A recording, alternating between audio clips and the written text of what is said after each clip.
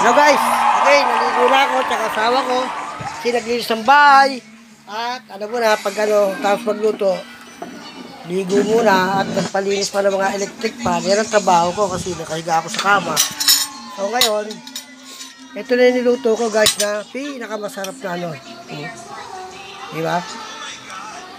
Hmm. Sarap ito. Hmm. Hmm. Ayan oh.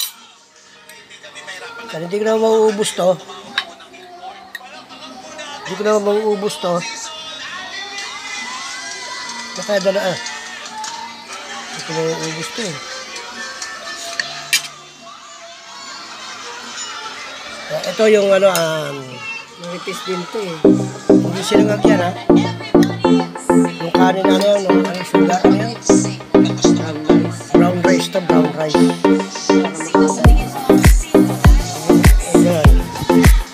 Brown rice ang kinakain mag-asawa ng mga ano kasama ko. So, ngayon yan. Bagong video ko. Ingay na mga ano, gabi na, papatikot pa.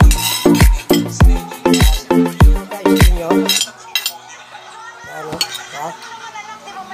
Sinusubo sa inyo, guys. Sa na? Yan, oh. Yan, tututok sa inyo, oh. Guys, oh. Sariwa, ano? Malambot ang pagkakaluto, magkaka, pagkakaluto, hindi goma. Ano kaya ito muna kainin mo? Kasi hindi ko, hindi ko na maubas para bukas may makain ka niyan. Yan mo na yan, papakin mo. O sige, bahala ka, kainin mo yan. Oh. Mag-isa nga tayo eh. Pakin mo yan, huwag yung karne. 3, yan eh. may isa na namang surprise para sa ating birthday boy. This. Sarap? Ha? Ito mo, araw-araw kita pagluto yan. Malit nga kinuha ko dahil kasi hindi ko na makaubos na maliit na to.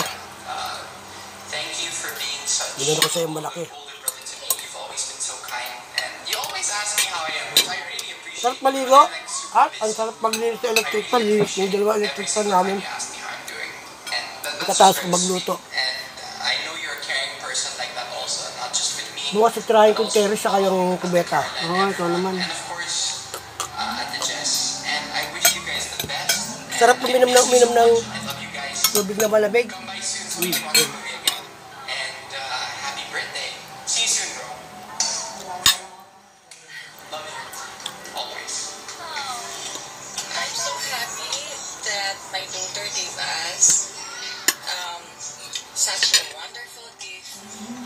marrying such an amazing person like you. May manok pa kami. Ayaw na namin manok kumain. Ingat-ingat. Aso na lang to. hope you will find peace and happiness and hoping to see you soon because Pero medyo gulay-gulay muna. Sa isda. And uh, it's been two years and hopefully yeah, very soon we will see each other. Sarap. Hello, my how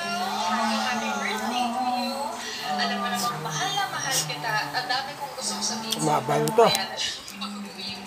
Eh, magkano